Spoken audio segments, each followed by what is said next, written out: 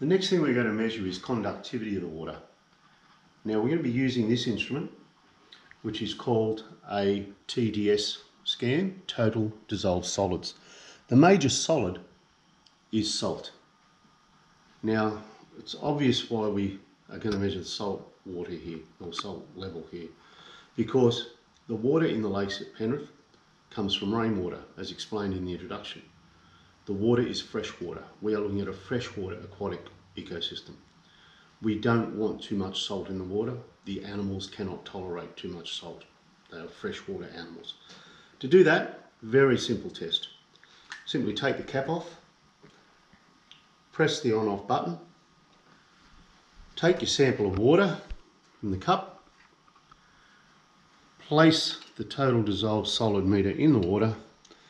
When it settles, when the reading settles, we simply write down our result. In this case, the water is reading 40 and this is in parts per million. So 40 parts per million.